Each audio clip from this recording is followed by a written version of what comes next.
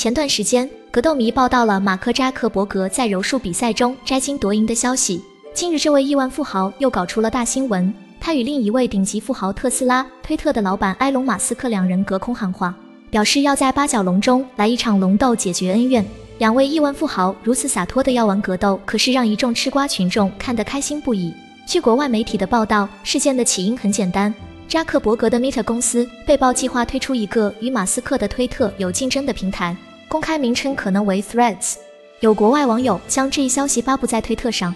并称，Meta 的首席产品官考克斯在描述这一产品时说：“这是我们对推特的回应，并且它将允许 N 用户自动将他们的关注者和用户信息直接转移到这款新的应用程序中。”在这个网友的推特评论区，埃隆·马斯克评论并点名扎克伯格称：“我敢肯定，地球迫不及待地想要完全被扎克伯格掌控，没有其他选择。”随后，在与网友的互动中，有用户艾特了马斯克，说道：“最好小心点，我听说他现在练习柔术了。”马斯克紧跟着回复：“如果他真会，我准备和他来一场龙斗。”而扎克伯格的回应十分简单，他与小英用了同款发言：“Send me location，地址发我。”在后来的回复中，马斯克表示，如果是真的，他会去。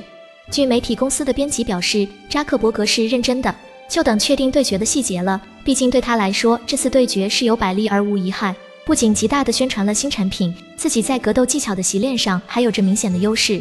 体重有优势的马斯克随后也在推特上表示，要在拉斯维加斯打八角笼，并称自己有一个绝招，会轻松把对手压在身下。作为聪明绝顶的商人，UFC 老板白大拿怎能放过如此大好机会？他很快公开发声，表示已经与两位富豪进行了沟通，说道他们都是认真的，真的想来一场，并且扎克伯格的回复很显然就是小英在回应别人挑战时所说的，这应该很能说明问题。我昨晚。和他们两个都聊了，他们都对此非常认真。扎克伯格主动联系我，问对方是否是认真的。在我找到马斯克确认后，我得到了肯定的答复。如果这两位富豪真的比赛，那么一定是前所未有的盛大，比以往所有的比赛都要引人注目，将会打破所有 PPV 记录，数亿美元会被用于慈善事业。即使不是格斗迷，都会对这场比赛感兴趣。能看出白大拿是十分想要撮合两位富豪的这场大战。